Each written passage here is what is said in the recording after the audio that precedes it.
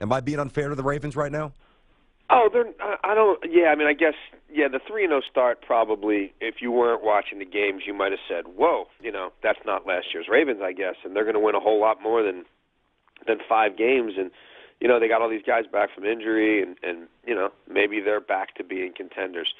So yeah, if you weren't watching each swing, if you just looked at the box score, but if you look at who they were playing against and how they they really probably should have lost to Cleveland the first time around. Um, you know where they were catching teams, how they were kind of doing it. They, they weren't playing complete football by any stretch, and offensively they were um, fairly dire, and they still are. Mm-hmm. You know they ran a lot of two minute last night in the second half to beat the worst team in the league at home on a Thursday night. Um, you know, and that's the things you have to do. And hey, they're in first place in that division, and that division is as bad as it's been really ever. Uh, My takeaway from that game, though, is that like Jimmy Haslam's been there what six, five, six, seven years now as the owner of the Browns, going through all these different people, all these players, all these quarterbacks, all these coaches, all these GMs, all these team presidents. This should have been their time. Like he was building that thing. Right, he came from Pittsburgh, the Rooney influence. He was going to build it slow and steady like them. The ebbs and flows of the league will eventually catch up. I mean, remember when he got there, this league, this this division would be sending regularly three teams to the playoffs. There's nobody in that division who looks worthy of the playoffs right now. That's true. And Yeah. the Browns are the worst team, maybe, in the history of football. In a year in which we come on and talk every week and say, who the hell is good in this league besides New England, right? You really can't. I mean, Raiders. maybe Seattle, Raiders. You know what I mean? Yeah, but I mean, they're seven and two. But I mean, like, are, is anyone going to look at that defense and say that's a great football team? And the Browns can't win a game. They've won three games in two years. Just think about that for a minute. They are three and in 2014 on November 23rd. Brian Hoyer leads a comeback win in Atlanta. They beat them 26-24. They are seven and four in first place in the AFC North. They've won three football games since then. They are three and 28. I would argue it might be harder to go three and 28 in this league over a two-year span than it is to go 28 and three. Like have they hit rock bottom yet? They benched Kessler in the middle of the game to go back to McCown, who hadn't thrown a pass in forever and wasn't even practicing. Like, dude, I, I- the, the, this whole idea that well they're keeping games close and there's these moral, moral victories and it's kind of cute. They're going to be a worse 0 16 than the Lions 0 16. Oh, that's encouraging. Jason La Canfora with us here on Yes, Tiki that's where I am this morning. No, no, no. I, I don't disagree with that assertion. I, I- they're they're miserable. Jason Locking Now, forward J- with us here. Go ahead, uh, Teak. Hey, JLC, you took the game in live. You said, were you there? Was in the press box Yes. and yeah. All right, so you were so you were there, and so I want to pull you off the field for a second. What were the protests like outside that game? I mean, we were monitoring them. You could kind of see them from the stands if, you went in there. It was, it was a moving um, mass of people, so it's not like they set up camp right in front of Camden Yards, uh, you know, the area between Camden Yards and M&T Bank Stadium. They were there for a period of time. The team closed a couple of gates just to ensure that nothing happened. I think they closed them for a, a total of three or four minutes, so it wasn't an extended period of time. There were no incidents there. They they were kind of moving through different parts of the downtown area, mostly around the inner harbor where the stadiums are, but but some other areas of of downtown as well. Um, you know, anytime you have a movement of that many people, there's you know concern, and you you there obviously some people were probably worried.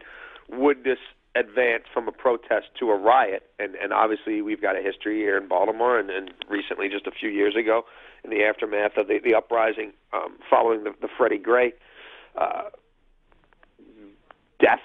Um, and the and and fallout there, we obviously had some things happen in the city that that were difficult but this was peaceful. Um, it, it obstructed some traffic, et cetera, but it was, you know, by and large, people Yeah, not- voicing not their really a big constitutional, well, voicing their constitutional right to protest, and yeah, it didn't stop. You know, it didn't affect the game at all. It didn't. Uh, you know, again, did somebody did it, somebody get home a little later from work than they might have otherwise? You know, pop getting out of downtown, possibly, but it, it you know there was there was no destruction, there was no mayhem, there, there was no riot. Yeah, no. Another thing off the field, JLC. Yeah, Roger Goodell talked about this a couple of days ago and how they combat some of the ratings issues that are going on and things like you know, speeding up the pace of games. Uh, I, I mean, wh- what what should the NFL be concerned about regarding this ratings drop that we continually talk about? Well, I, I mean, I think you just have to start with the product. I mean, that game last night was on. The whole country saw that, right? If if that game was on a normal Sunday, it's it's you know buried within a bunch of other 105 starts, and it's a regional game. You know what I mean? Seen in two two cities in the country, and it's not it's not there to sort of be indicative of what the you know of of, of what a good NFL game is. I mean, they, you know, the Monday nights when it was created was a big deal, and you tried to get the best matchups, and then you added Sunday, and you add the flex rules, which protect you a little bit. But Thursday night football as a whole, the quality isn't great, even when you get two good teams, just because of the fact of when you're playing it and everything else. And then you add in that every team has to be on it for competitive balance. And then we just talked about, besides New England and maybe Seattle and maybe Oakland, who are you banging the drum of a team you really, really want to see? You know, I, I think it comes down to a lot of that. Um, not a lot of great quarterbacks. I, I mean, I, I think the answer to this is not as simple as, well, we'll try to like make the officials better and we'll try to speed the game up and maybe we'll have fewer commercials. The the answer to me is to, and I've been writing about this for years, and it seems like it's starting to catch on. Invest in your own product. Create a developmental league or developmental academy where you, each team invests a significant portion of money, not a few hundred thousand dollars, several million dollars, into trying to upgrade the overall product. You can't just rely on colleges. You can't rely on a couple weeks of OTAs and truncated training camps to create the quarterbacks and and you know the the great players who power your league. It, it's not really working. So until you're willing to really shift the paradigm and and and be willing to to have almost something of a sunk cost because it's not going to develop that many players. But if if it can elevate to some degree the level of your play, I think they need to look at systemic things like that.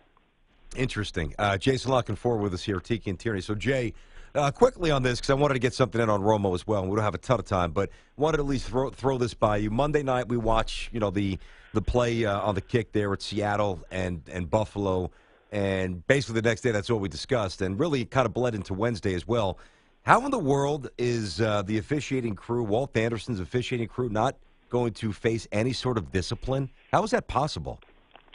Well, I, I mean, any terms of discipline now, uh, it's just sort of how it works. It, it, they're, they're, you know, it takes something for them to deem to be exceedingly egregious to suspend somebody for a week or you know to basically take that away was pretty bad, their Jay. right to work. Yeah. Hey, I, I mean, I, right. look, it's it's their world. We're just living in it. Yeah, I hear you. You know, but where I think it will affect them is, you know, they get ranked week to week, and then post game assignments, you know, go to who has the better grades.